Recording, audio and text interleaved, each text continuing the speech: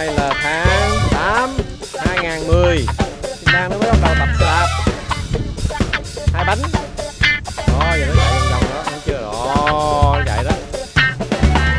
Kẹo đó. Đó thấy chưa? Thấy chưa? Kẹo đó. Đó chạy tới đó. Đó. Chưa? Đó. Rồi. Tại nó, tại nó chạy chậm quá nó bị té.